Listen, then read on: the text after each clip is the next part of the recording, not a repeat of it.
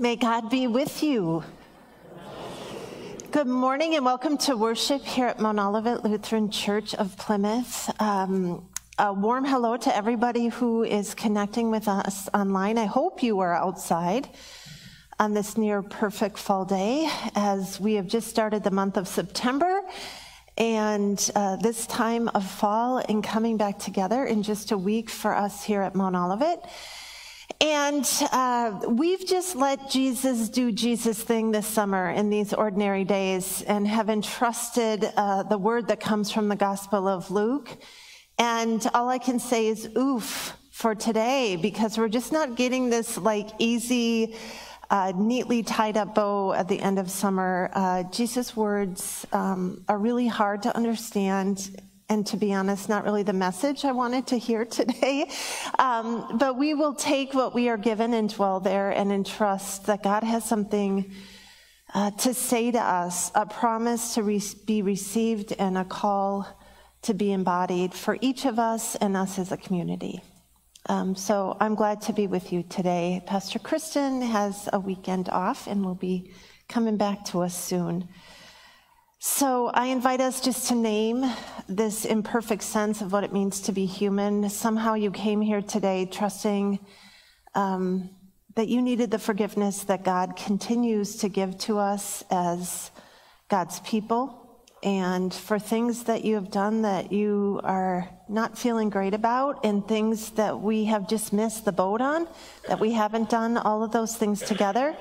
God invites us to name those individually and as a community. And then God speaks to us with a word of grace. Blessed be the Holy Trinity, one God whose steadfast love endures forever. Amen. Let us confess our sin in the presence of God and one another. Merciful God, we confess that we have not followed your path, but have chosen our own way.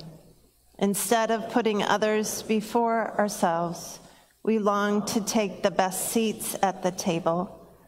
When met by those in need, we have too often passed by on the other side. Set us again on the path of life.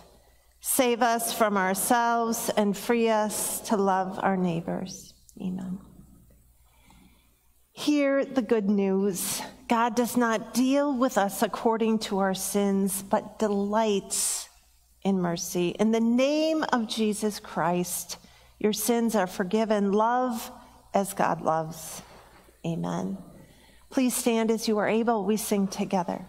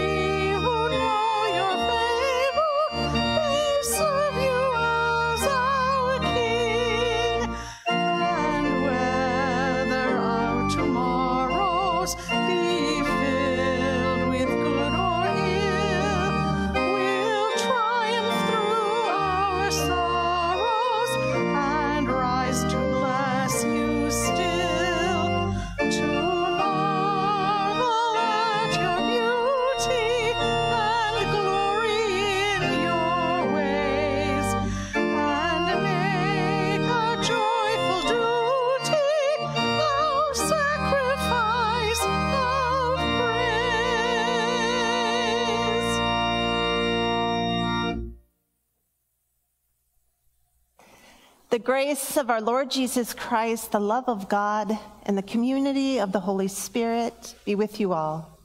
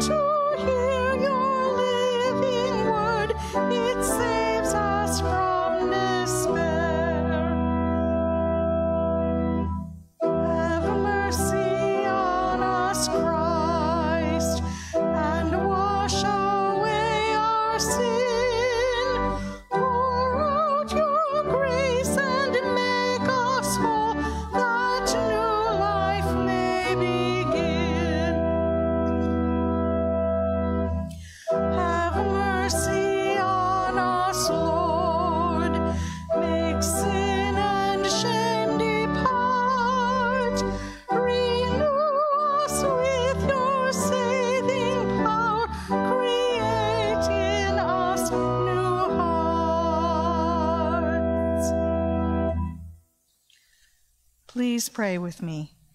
Creating God, we pray for perspective and wisdom as we frantically are pushed to define worth by success, busyness, and new things. Slow us down to see how your presence is here now, creating worth in what we already have been given. Amen.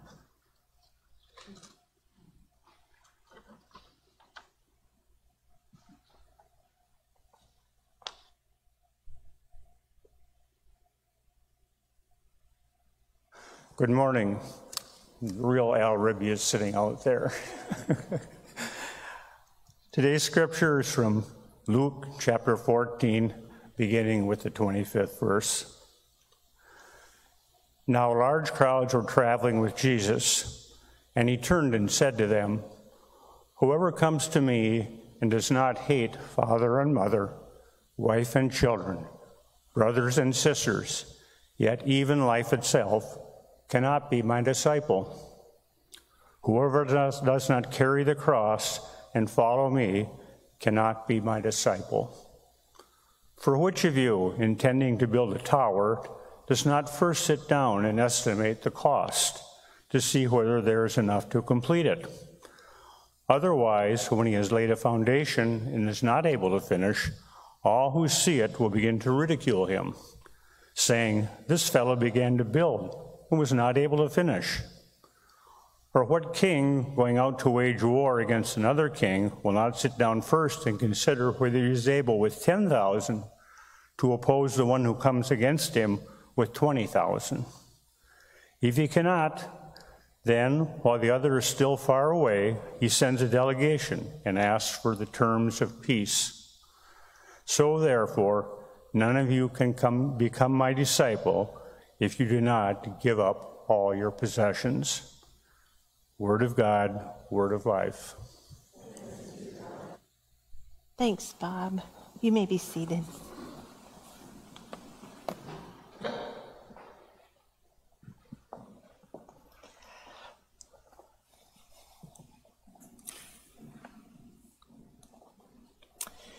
God's grace and peace to all of you. Amen. So I remember a business trip I made to Denver back when I worked in mortgage banking. Due to flight delays, we arrived later than anticipated. So our team had to immediately gather in the hotel conference space to get everything uh, set up and planned for the next day. We were rolling out technology updates to all the bankers across the country and I was facilitating the training along with my colleagues so I would be up front all week. I didn't get back to my hotel room until late, and as I unpacked my suitcase, I quickly realized I had forgotten all my pants.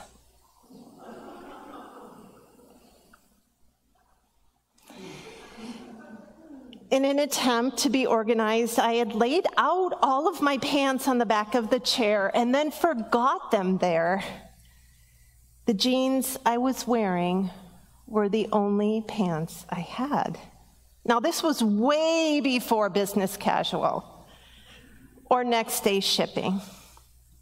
There were no clothing stores open that late, and as a 5'11 person, my inseam was longer than anyone who had traveled with me. It was obvious that well planned professional business attire meant nothing without the pants. Now, believe me, that week I got so many comments. Nice pants, Beth. I haven't seen those before, Beth. And even 25 years later, when I run into old colleagues, they remember this trip and always say, Beth, just remember to pack your pants. Of course, humor is the only coping mechanism when you hear a story like this. Jesus is just so direct as he speaks to those crowds. None of you can become my disciple if you do not give up all of your possessions. And these possessions are not just what you pack in your suitcase or what gets left in your closet, your electric car and Apple TV but it also includes family and relationships. When Jesus says, hate father and mother, wife and children, brothers and sisters, yes, even life itself. The original word, hate, doesn't mean like despise, it means detach from. Not really the message that we want to hear on Labor Day when everyone is so curious what this fall will be like. I don't know if you saw the article in the Star Tribune last week about that, how churches are using donuts and llamas and other things to bring people back to church. I think the stat was 27% of people actually worship regularly now on Sunday mornings. The question is will people even come back? So I'm not sure, Jesus, if this is the message you want to lead with hate your family, carry a cross, and give up your possessions, and then you can follow me. Maybe, though, there is some understanding and compassion from Jesus that these crowds just never let up. While Jesus eats with Pharisees and tax collectors alike, the crowds wait in streets and they travel to countryside so desperate to hear from Jesus that there's more to life than what meets the eye. They keep following God in flesh who meets them where we are where they are, the one who will cross boundaries to find people in the margins, offering physical healing and a promise that they matter, even if they have never felt that before. Jesus is inching closer to Jerusalem, where his death will meet him as he carries a cross and lets power have its way. And Jesus knows even then that the crowds have no clue how far God will go to reveal that love is greater than fear or even death. Jesus, on that day that these words were spoken, sees firsthand how fickle humans really are. We want the faith, but we don't want the commitment. Give us the grace, God, but only when we really need it, only when we run out of wherewithal in innovative options for how we can save and protect ourselves from how fair and hard this life can be.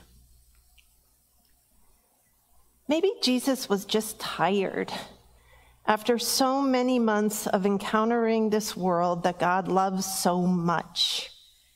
You see, even Jesus cannot escape human imperfectness, imperfectionist.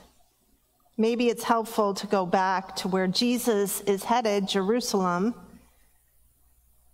and go back to Good Friday, where there are no crowds at the cross.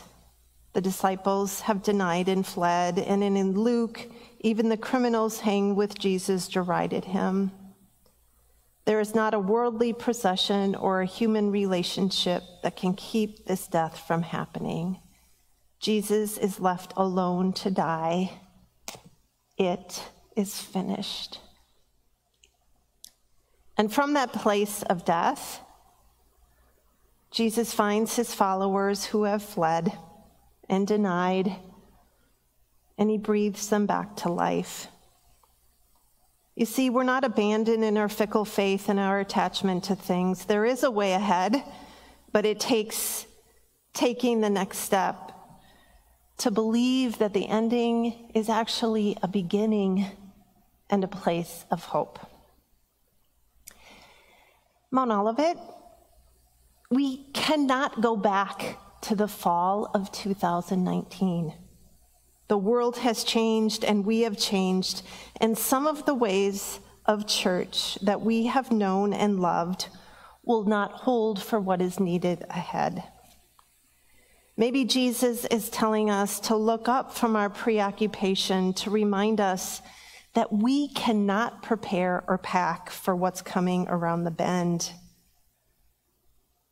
Because when relationships end, when you are touched by death or crisis, when you don't know where your nourishment will come, physical or spiritual, to sustain one more day, then following and trusting become not an obligation, but a promise.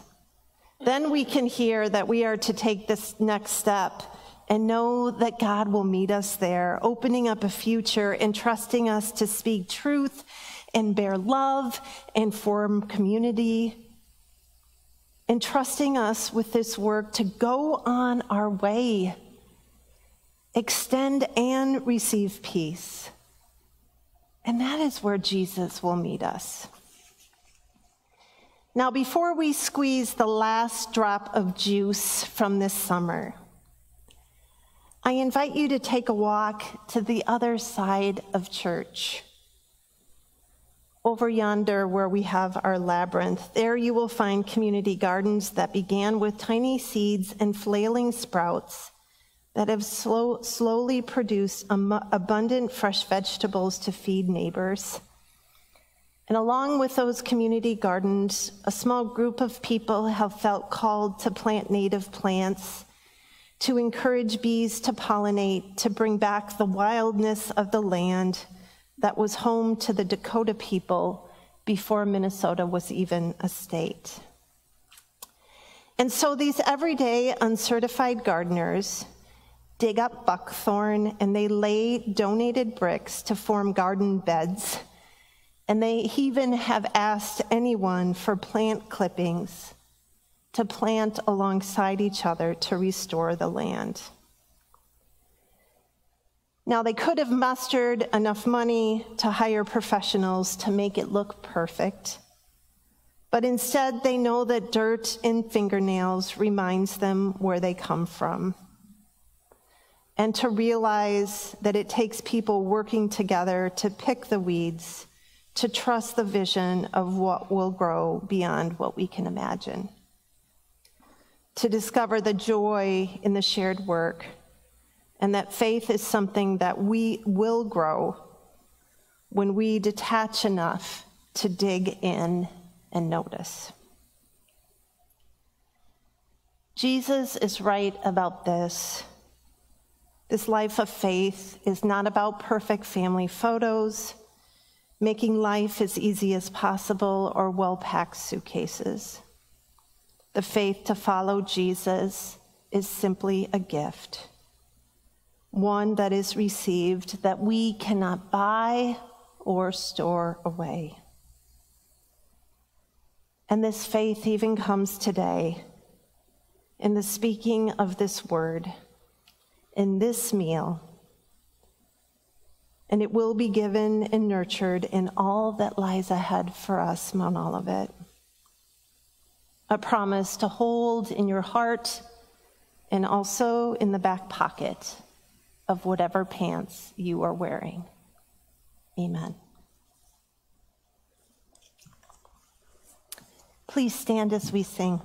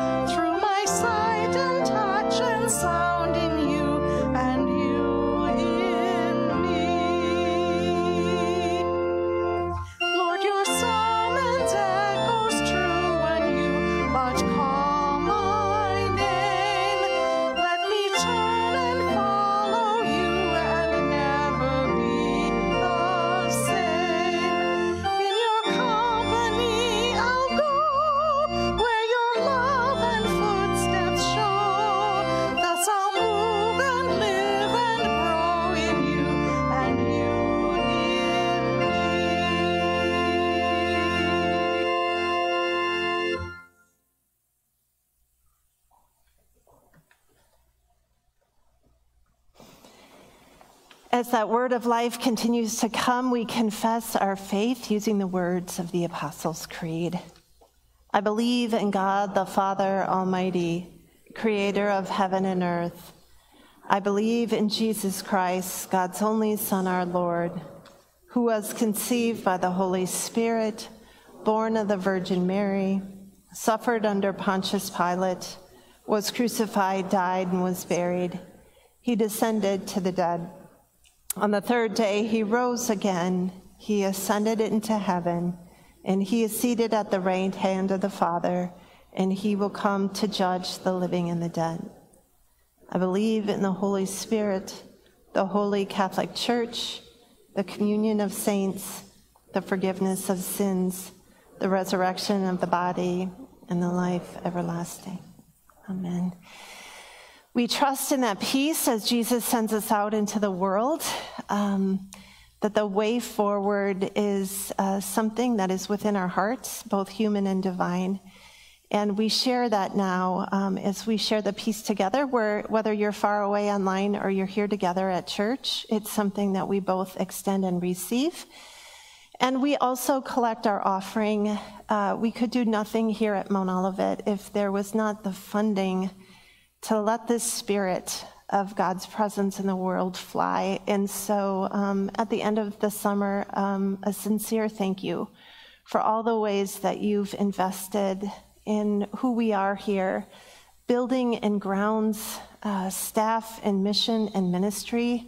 That's the future ahead for us at Mount Olivet. And so, um, in trust, we know that that will continue abundantly as God leads us forward. So, um, to share the peace and collect the offering is what we do right now. And so, may the peace of God be with you all. Let's both share and receive peace from each other. And please comment online.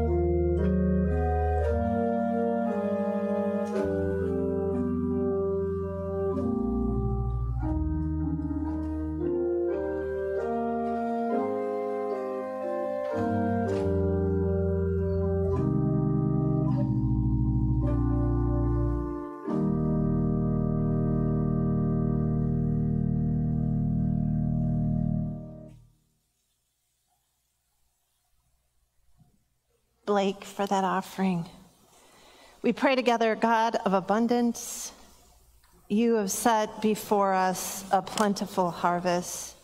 As we feast on your goodness, strengthen us to labor in your field and equip us to bear fruit for the good of all. In the name of Jesus. Amen. The Lord be with you. Lift up your hearts. Let us give thanks to the Lord our God. It is right to give our thanks and praise. It is indeed right, our duty and our joy, that we should at all times and in all places give thanks and praise to you, Almighty and merciful God, through our Savior Jesus Christ, who on this day overcame death in the grave, and by his glorious resurrection has opened to us the way of everlasting life.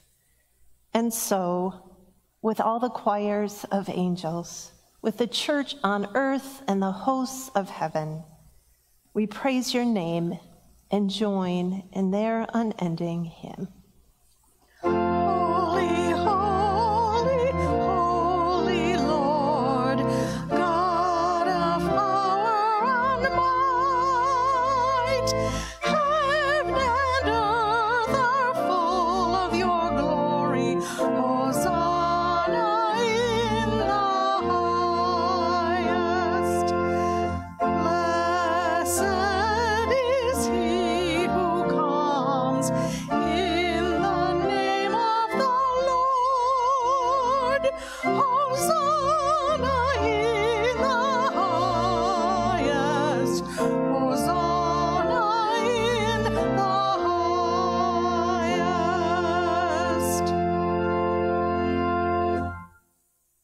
In the night in which he was betrayed, our Lord Jesus took bread, broke it, and gave thanks, and gave it to his disciples, saying, Take and eat. This is my body given for you. Do this for the remembrance of me. Again, after supper, he took the cup and gave thanks and gave it for all to drink, saying, This cup is the new covenant in my blood, shed for you and for all people for the forgiveness of sin. Do this for the remembrance of me. We pray now together the prayer Lord Jesus taught us to pray. Our Father, who art in heaven, hallowed be thy name. Thy kingdom come, thy will be done, on earth as it is in heaven. Give us this day our daily bread, and forgive us our trespasses, as we forgive those who trespass against us. Lead us not into temptation, but deliver us from evil. For thine is the kingdom and the power and the glory forever and ever. Amen. Jesus, the teacher, is the one who hosts this meal, who understands our fickleness of human desire to keep away from the world with things and relationships. And today he says, Come, open your hands and receive the gift not as an obligation, but as a deep promise that God is with us today, tomorrow, and the next day. So we gather once again and hear this invitation, and next week you'll hear it too that the future ahead is one of hope and one to which we are called. If you are online, hear this promise the body of Christ is given for you, and the blood of Christ shed for you. For those here at church, gluten free wafers, wine is red, grape juice is light in color. After you receive the meal, you're invited into a time of prayer where you are, or feel free to come up front as well. Please come forward now. The feast is prepared.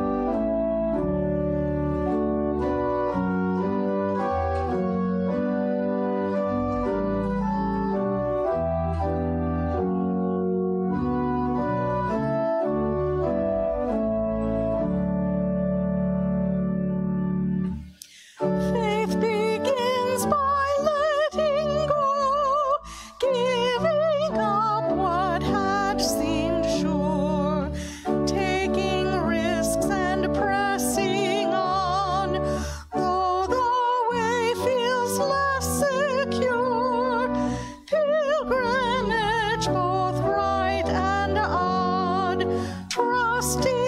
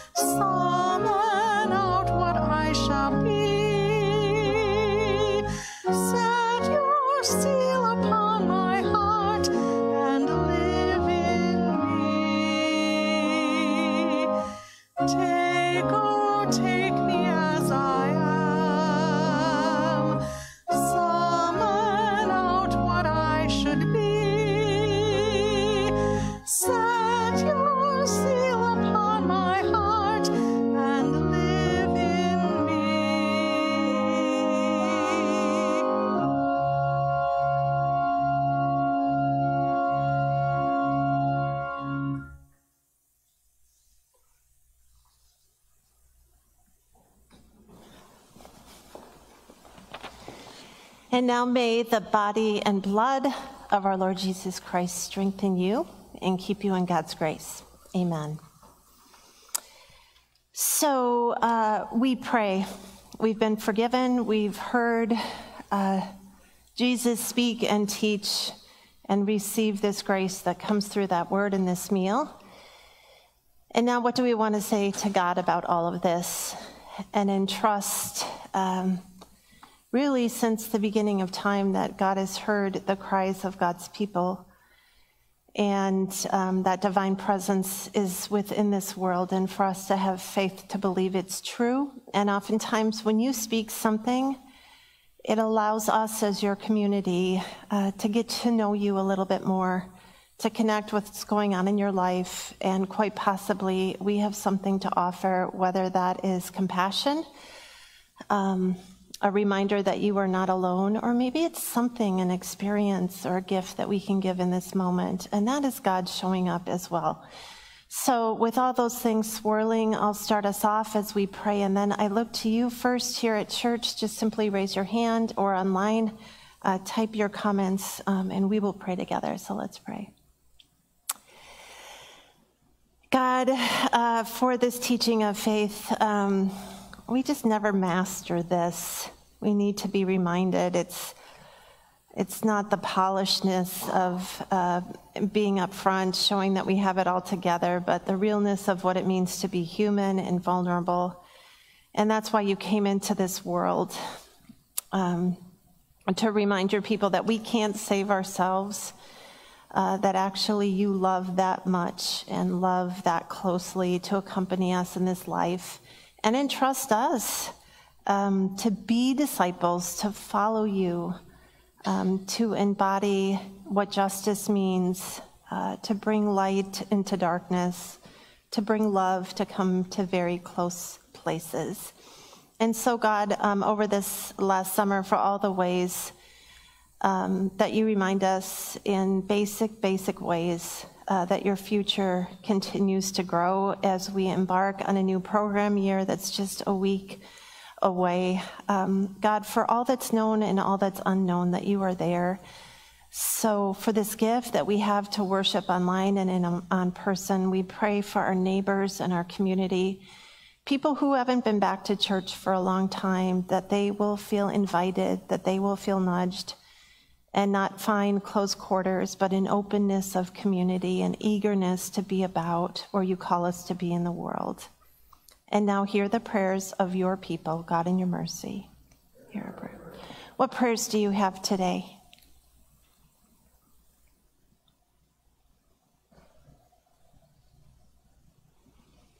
Yeah, Barb.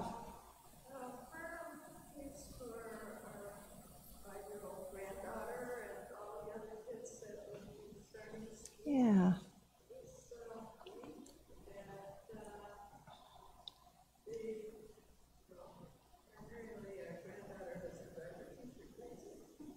Mm-hmm. Yeah. Yeah. Well, I'll just scoop all of that up. Um, for the beginning of the school year, um, you said not to have kids drive teachers crazy. Yes. Uh, whether they be young ones, let's not forget middle school um, and high school and all, all the mix. Uh, for kids, um, going from a more relaxed schedule to more structure, um, which has its place. Um, pray that everyone will have someone to sit with at lunch, uh, for administration, for staffing shortages, for the demands of what it means um, in a community uh, to invest in educating kids for this world, for all the things that need to be taught in the curriculum, and then for the humanness of loving people and kids as they are, for building of communities, um, and for all the different ways that we express it. Help us be a community. Um, it's going to be a tough week this week, so come back next week with just grace and patience and love. And pray for your granddaughter too as she begins a new school, I think, too. God, in your mercy.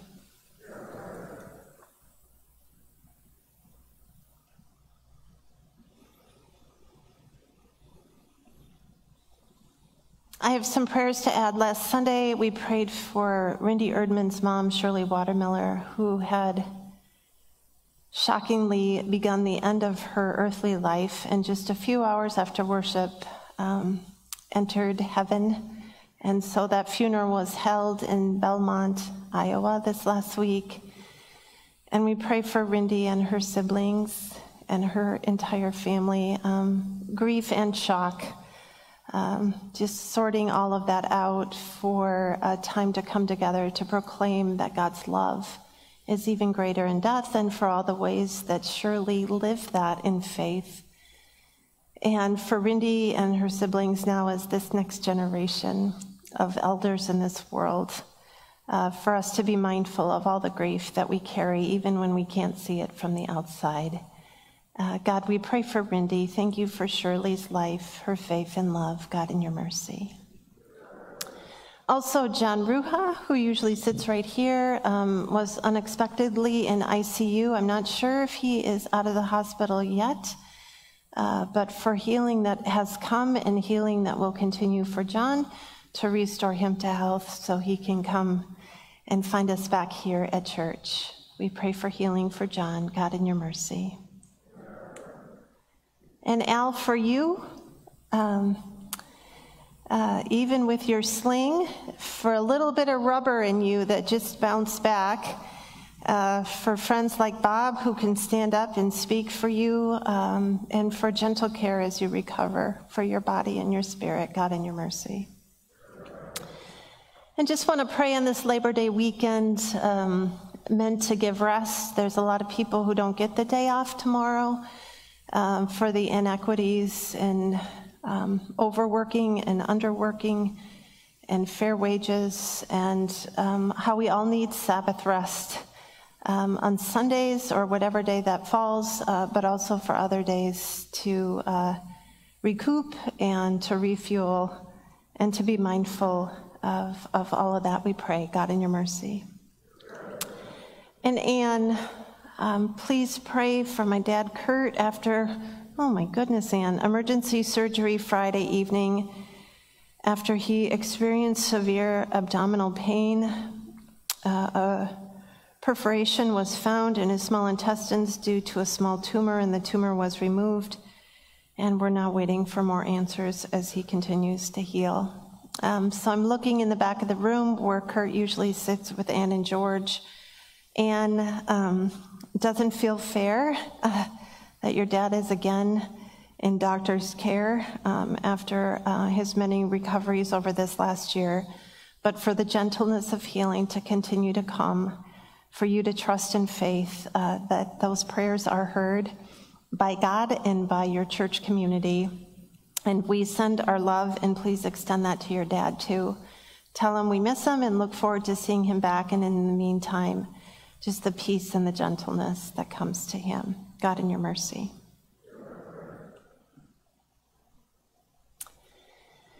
God, for all these things that uh, we prayed today, um, for this presence um, that comes. Help us notice it in this time too.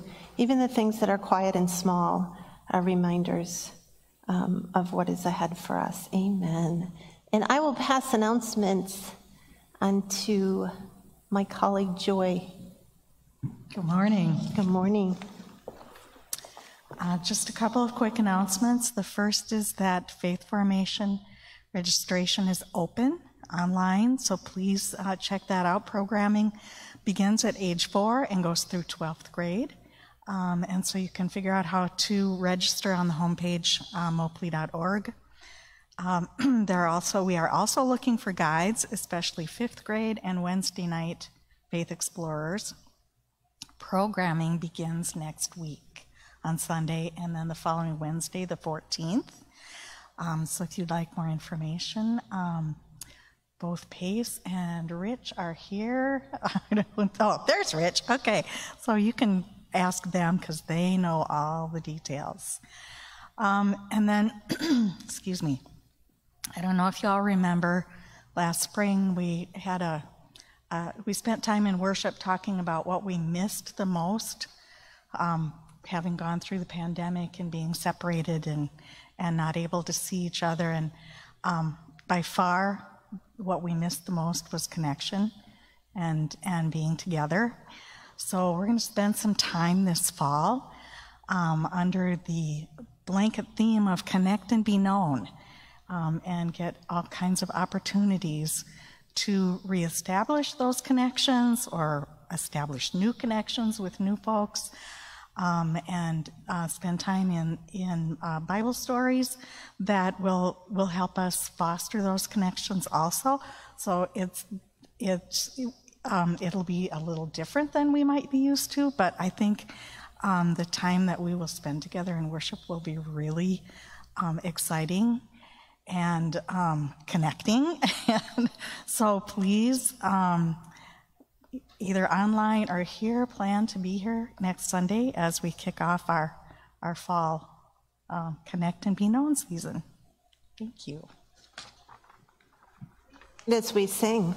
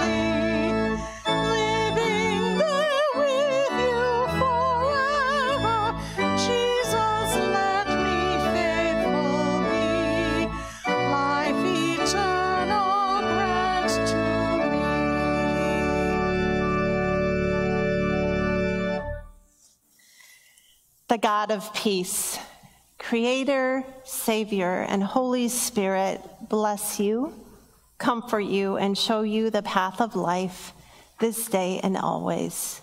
Amen. Go in peace and love your neighbor. Thanks be to God.